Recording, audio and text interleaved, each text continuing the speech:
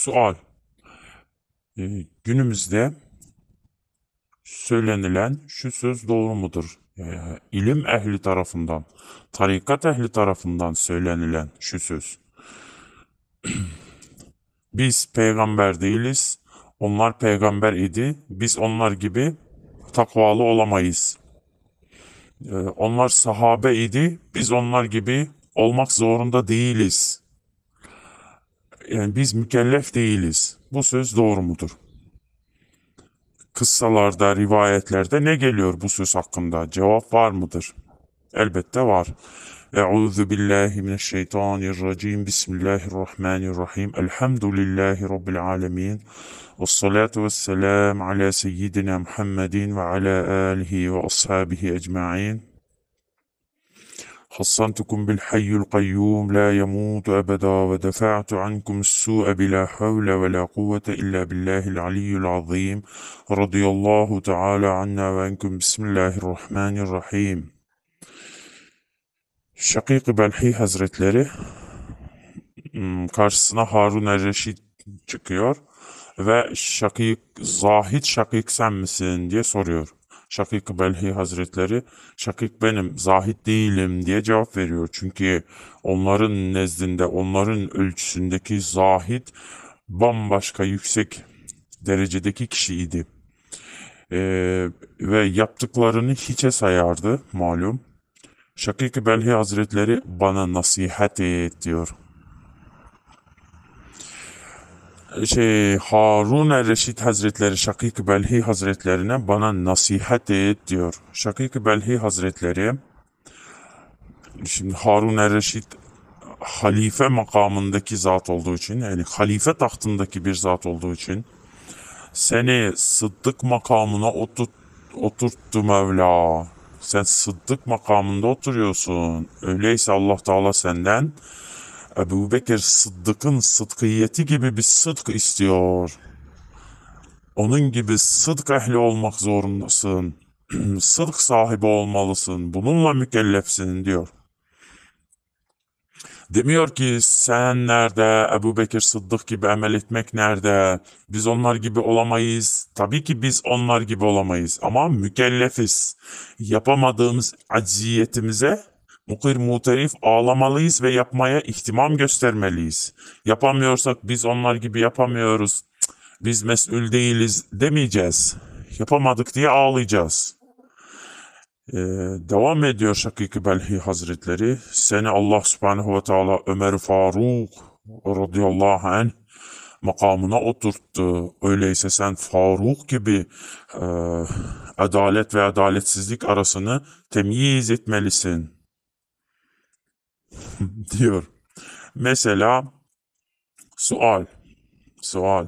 Bir kişi e, bir dini meselelerde e, günümüzdeki işte karma karışık zamanda çıktı bir hocanın yanına ya da bir e, müftünün yanına, kadının yanına. Günümüzde kadı müftü yok denilmez. Çünkü hilafet e, ta kıyamet manen devam ettiği gibi kadılık, müftülük mesuliyeti de ta kıyamet devam edecek. Bakın bu sözler de adalet ve adaletsizlik arasını temyiz eden nakş-ı kemalattır. Sual. Adalet ve hakikat işte haksızlık arasını temyiz nasıl edebiliriz? Sual. Bir kişinin mesela mirası çalındı. Ee, gidip işte avukatlara mı başvurması gerekiyor? Mesela. Yoksa başka bir çaresi mi vardır? Ki men lem yahkum bima enzelallah Allah'ın emrettikle emrettiği şey ile hükmetmezse fe ulaike humul fasikun, kafirun, fe ulaike humul munafikun. İşte gidiyor. Zalimun evet ayet-i kerimede zalimdirler, kafirdirler, münafık, hmm, fasıktırlar diye geliyor. Bu üç şey geliyor hangisini yapması gerekiyor? Biz ne diye hüküm vereceğiz? Bunlar ezberlenmesi lazım. Gerekirse her mevzuda bu hususu konuşmamız lazım ki insanlar tahakkuk ettirsin. Ha, bu böyledir. Kendi ismini biliyor gibi bu hususu bilmesi lazım. O kişi ne yapsın? Mesela diyelim bir teyze eşinin e, malını çaldılar ve yetim çocuklarıyla kala kaldı. Diyelim dört tane yetim kızı var mesela. E, kızlar da gidip çalışamaz. Teyze de yaşlı. Ne yapsın? E, avukatlara mı başvursun? Çocukların hakkını mı talep etsin? Yani adil hüküm nedir bu teyzeye söylenecek? Adil hüküm nedir? Tabii ki ben alimsem teyzeye sen şimdi gidip de işte malını avukattan talep et demeyeceğim. Ben teyzenin malını çalan kişiye sen ne yapıyorsun gözünü aç niye e, şey fi butunihim nara açık açık o ayet-i kerimedeki zalimlerden oldun sen batnına ateş dolmuş sen ne yapıyorsun diye söylemem lazım. Peki teyzeye eğer alimler o zalim kişiye, mal çalan kişiye sen ne yapıyorsun demiyor da teyzeye sen şimdi git e, malını talep et, avukatlarla e, beraber bu işi hallet diyorsa teyze ne yapması lazım? Çocuklarımın hakkını talep etmezsem günahkar olurum mu demesi lazım. Bak burada bir Ömer Faruk lazım. Hak, ha, yani Ömer Faruk gibi radıyallahu anh hakla batılın arasını ayırması lazım. En adil hüküm nedir burada? En adil hüküm nedir? Ki en adil derken hakikat bir tanedir, başkası batıldır. Hakikat tek bir tanedir. Sırat-ı müstakim tek bir tanedir. Dünyada biz o sırat-ı müstakimden yürüyor gibi e, hak üzere müstakim olmalıyız. Ki yarın ahiret o sırat-ı müstakimi geçebilelim. Her mümin cehenneme bir kere uğrar. Nasıl uğrar? Sırat-ı müstakimde. Altında cehennem ateşi yanıyor. İşte cehenneme mi seçeceksin, kurtulmayı mı seçeceksin? Hakla batıl arasındaki e, seçim budur. cehenneme mi seçeceksin, kurtulmayı mı seçeceksin? Hakla batıl arasındaki seçim budur. evet, ne yapması lazım? E şimdi ona nasihat edenler çok olur. Yani çok olur derken hangi söz doğrudur? Sen işte çocuklarının teyzeye deseler yaşlı teyzeye mesela ya da yaşlı değildir. İşte yani sonuçta çalışamayan bir kad- kadındır. Ne diyecekler ona? Sen e, çocuklarının hakkını talep etmen lazım avukata gidip. Bu söz mü doğru? Yoksa e, artık işte sabret, avukata da gitme. Bu söz mü doğru? Hangisi doğru? İtikadımızın da burada e, ne olduğu ortaya çıkıyor. Doğru olan şudur. Yani hakla batıl arasını temyiz etme mesuliyetinden bahsediyoruz burada. Doğru olan şudur. Ne diye inanması lazım o e, mesela diyelim mazeretli bir teyzemiz. Şöyle e, düşünecek. Benim çocuklarımın e, rızkını kimse çalamadı ki. Çocuklarımın mirasını çaldılar, rızkını kimse çalamadı ki diye düşünmesi lazım. Benim çocuklarımın rızkı e, geniş olması için takvaya sarılmam lazım. Avukata falan ihtiyacım yok diye sarılması lazım. Peki e, birisi mal çalarsa herkes tamam teşekkür ederiz diye devam mı edecek? Hayır. Kadılar müftülere müracaat edecek. Manen kadılık müftülük makamını devam ettirenlere bu işi halletmeniz, zalimden mülkü almanız sizin mesuliyetiniz. Ahiret siz buna cevap vereceksiniz diyecek geçecek bizim teyze. Evet onun gibi Şakik-i Belhey Hazretleri dedi ki Ömer Faruk gibi adil temyiz sahibi olman lazım sen dedi Harun er-Reşit Hazretlerine. Ee, sonra dedi ki sen dedi Zünnureyn Osman radıyallahu anh'ın makamına oturdun. Yani onun gibi hilafet mesuliyetini aldın sen omuzlarına. Öyleyse sen aynı Osman radıyallahu anhu'nun haya ve keremine sahip olman lazım dedi. Yine sen e, Hazreti Ali'nin makamına, hilafet makamına oturdun. Öyleyse sen Hazreti Ali gibi ilim ve adalet sahibi olman lazım. Allah Teala yarın senden bunları talep edecek dedi. Bak burada ne hulasa ediyoruz? Ee, onlardan talep ettiği adaleti işte sahabe-i kiramdan, mükellefiyeti bizden talep etmeyecek. Biz mesul değiliz sözü yanlış imiş. Ahiret bizden onlardan talep ettiği mükellefiyeti talep ediyormuş Allah subhanehu ve teala. Yapamadığımız yerde acziyetimizi mukir muterif olarak işte buna istiğfar çekmemiz gerekiyor. Ha insanlara desek ki, insanlara derken biz bu zamanın salihini izleyen ilim ehlinden bahsediyoruz. Ee, ki amel etmeyen kişi velev alim olsun avamdan sayılır diyor.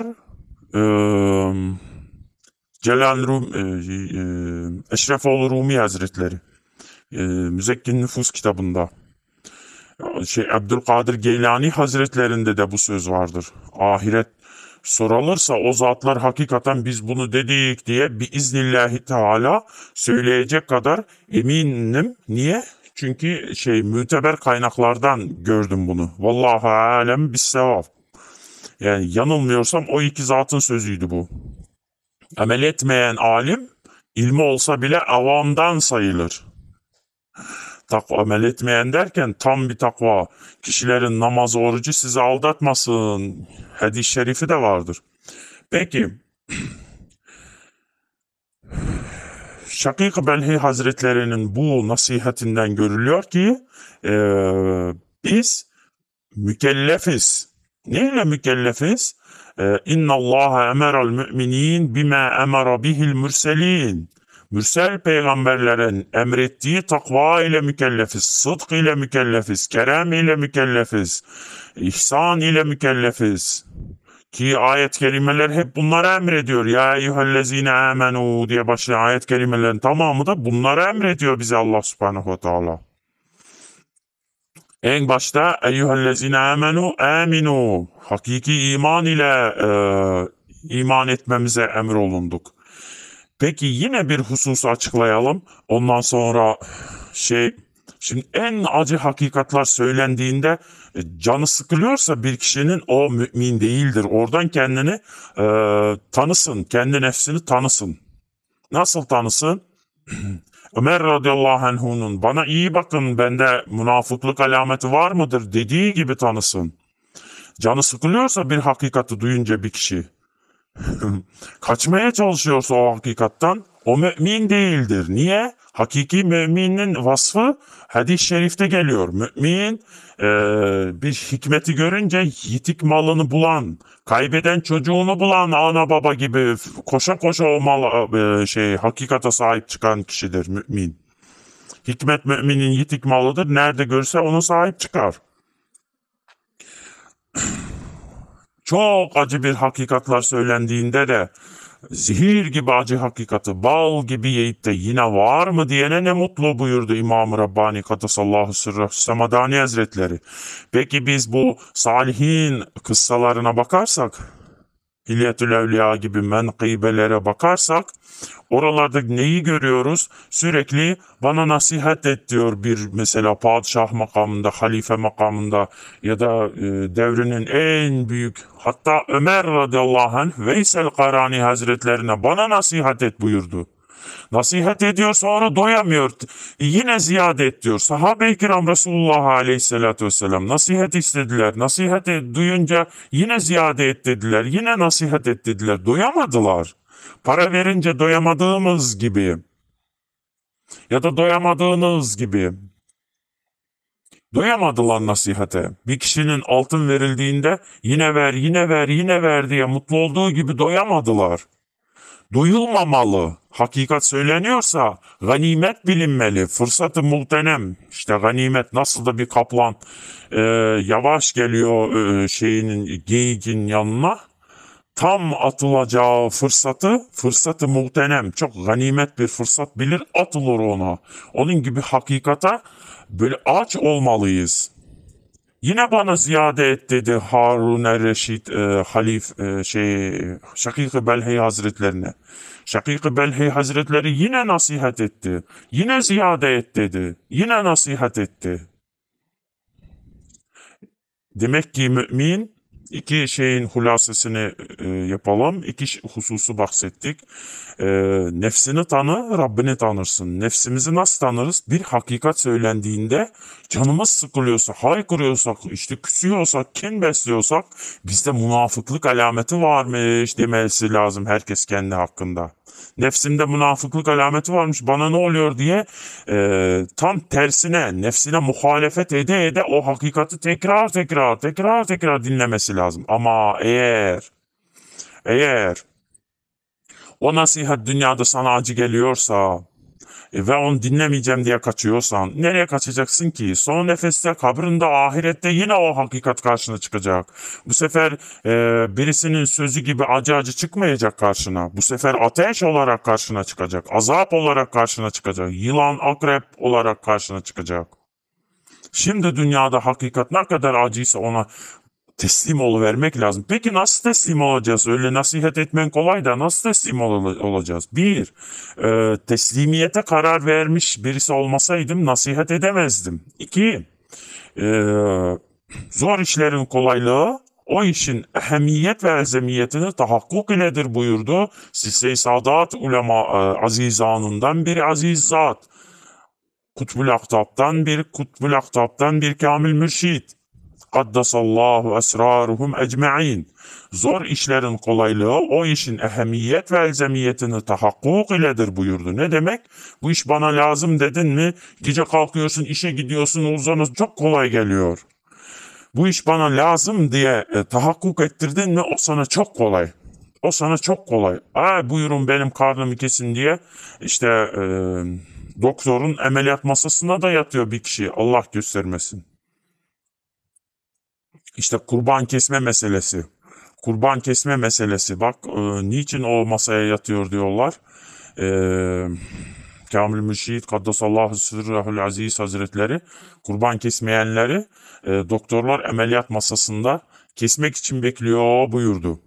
Öyleyse kurban kes. Fakat kurbanlı e, Allah Teala et veya işte sizin etinizi falan kabul etmiyor. Allah Teala et veya kanını kabul etmiyor. Allah Teala takvanızı kabul ediyor buyuruldu. E biz hangisini en temizini bulmalıyız ki keselim de kabul etsin Allah Subhanahu ve Teala. Bak burada canınızı canınıza bir acı gelme konusunu konuşuyoruz. İnek mesela kesecek misiniz? Birkaç kişiyle beraber işte dana falan ki kişilerden bir tanesi yanlış niyet yaparsa ne yapacaksınız? Aa et yiyeceğiz diye verirse hepinizin kestiğiniz kurban batıl olur. E, yani fıkıh ile iştigal eden zatların sözü budur. Ya da kendiniz tam bir emniyetle temiz e, bir keçi mesela hayvanların günümüzde tıp uzmanlarının e, tavsiyesi olarak en temizi keçidir. Niye? Hem seçe seçe yiyor. Mesela hatta bir hocamıza bunu sorduğumuzda dedi ki keçi dedi yani demiş keçi demiş eee Mesela bir ağacın yanına sürüyü getirirsen koyunlarla keçileri, keçiler ağacın e, üstüne üstündeki yaprakları yer, koyunlar aşağıdakini. Yani keçi o kadar seçicidir. Onun için en temizi keçi sayılır. Evet gelelim mevzumuza. Ee,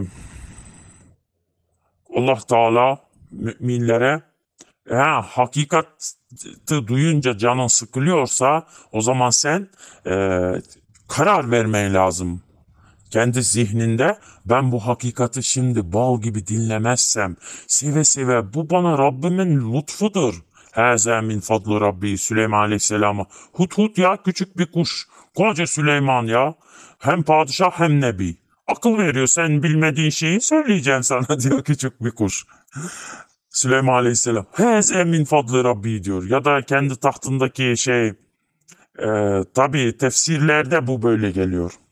Kendi tahtında işte Belkıs'ın tahtını kolayca getiren Asef bin Berhaya e, Rabıt ehliydi. Göz, gözün sana dönünceye kadar yani göz açıp kapayınca bir saniyede ben sana getirivereceğim.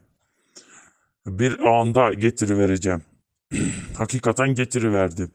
Sen benden düşük birisisin, padişah da değilsin, nebi de değilsin. Sen nasıl yapabildin de ben bunu yapamadım. Şimdi benim e, mevkiyim düştü yani demedi. Haza min fadlu rabbi dedi.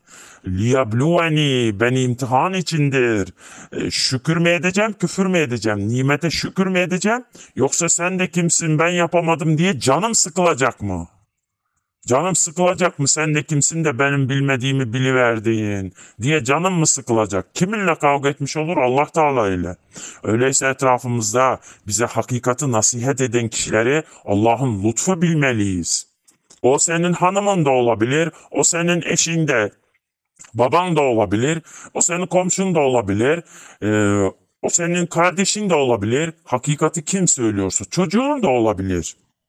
Hakikati kim söylüyorsa Allah bizim yanımıza bize hak sözü söyleyen birisini göndermiş diye sevinmeliyiz. Buna karar verirsen, sevinmeliyim ben buna diye karar verirsen tamam o sana kolay gelir. Hatta istikametin tarifinde de el istikametu el karar ba'del ikrar. La firar ba'del ikrar diyor. Yani bu bana lazımmış diye ikrar olduktan sonra tamam ben buna rıza göstermeliyim, seve seve dinlemeliyim diye karar vermeliyiz. Ya da e, tayyip lokma habismiş, şey estağfurullahel azim ve etûbileyk min cemî'i mâ kerihallah. Evet tayyip lokmanı emretmiş Allah Teala bize. Salih emere muktedir olamayacağım tayyip lokma yemezsem. Rabıtamı tutturamayacağım tayyip lokma yemezsem. Bak ayeti kerimede Allah Teala size tayyip lokma emredildi ve amelu saliha ve salih amel işleyin. İkisi wow e, atıf harfiyle geliyor yan yana. Sümme demiyorum. Wow. Şunu yaparsan bu da hemen. Mesela kapıdan kim girdi içeriye bir anın içerisinde? Ahmet ve Mehmet hemen giriverdi. Ahmet Sümme Mehmet değil. Ahmet ve Mehmet hemen geldiler. İkisi aynı e, fiil içerisindedir. İşte Allah Teala da ikisini aynı e, anda emrediyor. Ee, şeyi tayyip lokmayı yiyin, salih emele muktadir olasınız manası vardır. Ee, peki bu sözün e, Evliyaullah'ın kavlinde de e, izahı var mıdır? Elbette. Ee, işte Ahmet Yesevi Kaddesallahu Sırrahul Aziz buyurdu. Ee, lokma helal ama gaflette yapıldıysa senden ne kendine ne aleme hayır vardır buyuruldu. Ne korkunç bir şey. Bak yani sen artık salih emel yapamazsın sözünün tam bir izahı burada. Tayyip değilse Lokman diyor. Evet şimdi bunları tahakkuk ettirdin mi o zaman sen et, yani ikrar oldun bu böyledir diye ve beyninde karar vereceksin bu hakikati kabul etmeliyim. Ben niye kibirleniyorum hakikate karşı diye. Kibir neydi? Hakikati kabul etmemek kibirdir. Allah Teala dünyada lisanımızı hakikata kolayca döndürsün. Allah Teala hikmet sahiplerinden eylesin. Niye hikmet sahibinden eylesin? Çünkü ben ahlese lillahi erba'ine yevmen tefecceret min sadrihi ala lisanihi yenabi'al hikmete.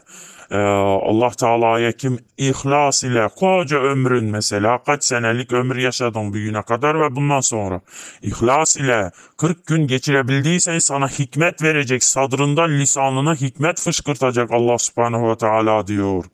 Zira mürid fena fiş şeyh makamına erince ki seyr ilk makamatın ilk baskıcı fenafi şeyha ermektir. Fenafi şeyha nasıl erilir? İhvanda fani olmaya. Yani kendi nefsi için istediği şeyi mümin birader için, mümin kardeşi için de isteyebilmektir. Fenafi şeyha eren kişi ise mürşidinin kelimi olur. Kelim yani mürşidinin konuşan sözü, gören gözü, yürüyen ayağı olur. Gel gör şimdi diyor deniliyor e, kulağın varsa manevi kulağın rabıtanı tutturabiliyorsan Mürşidi Kamil söyledi 80 kere zararlı şeyi yeme sözü Mürşidi Kamil'in şu günümüzde bak bizim şu 2022 senelerindeki 2021 senelerindeki Mürşidi Kamil Piran'ın e, zuhuratta söylediği şeyleri söylüyoruz. Ki bunların e, bu sözler öyle sadece zuhuratta kalmıyor. Bu sözler fıkhi emirdir, ayettir, hadistir. Ondan sonra Piran kavli de vardır diyoruz. Sen tamamıyla rabıtan kesilmiş, kala kalmışsın, dona kalmışsın, manen felç ola kalmışsın. Piran buyurdu zehirli şeyi yeme diye. Sen neyin hizmetini konuşuyorsun şurada? Sen neyi hizmet zannettin? Zehirli şeyi yeme. Bir, ikincisi zehirli şeyi satma hakkında ee, ne buyurdu?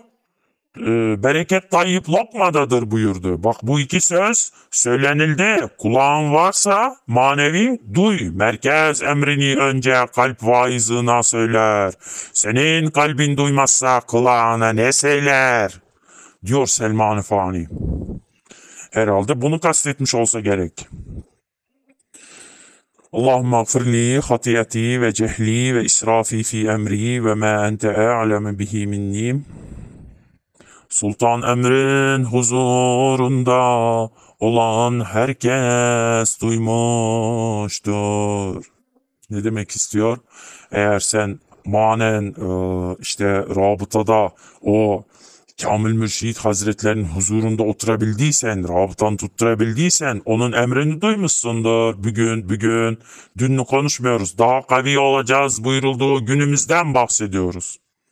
Sultan Emrin huzurunda olan herkes duymuştur.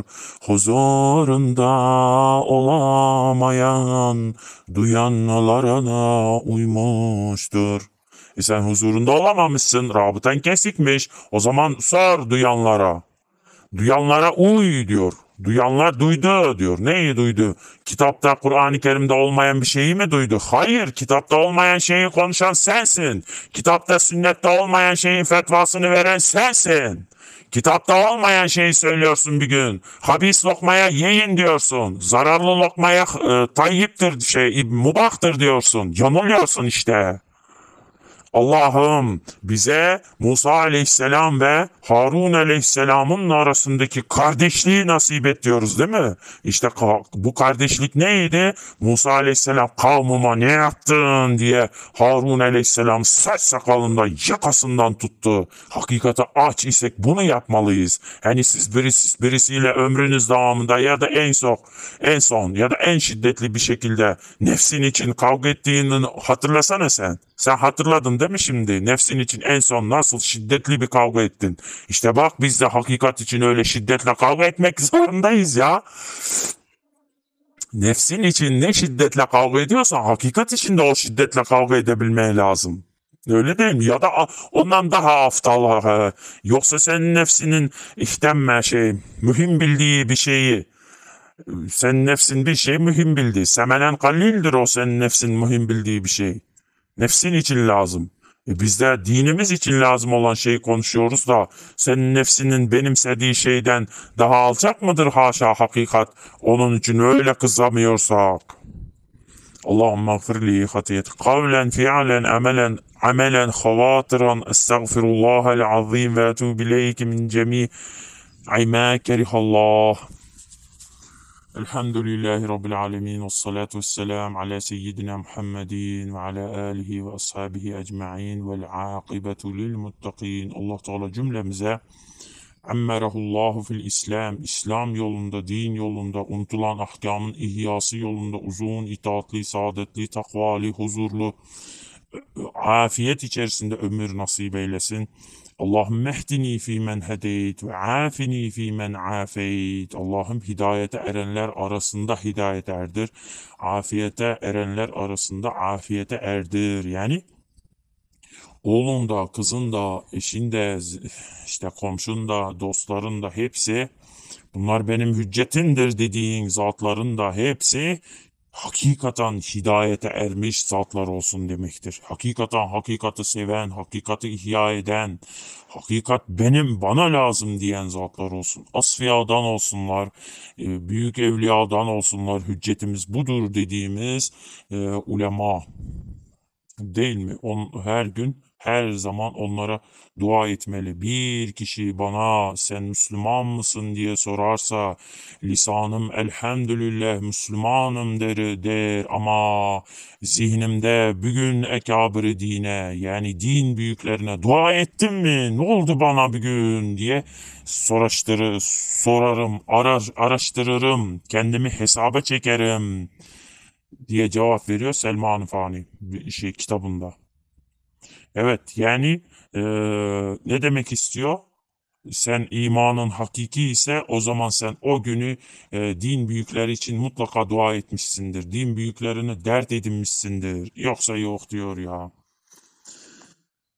Estağfurullahel-azim ve etûbü Veffakanallah ve iyyâküm fil hayrat. Fi emanillah.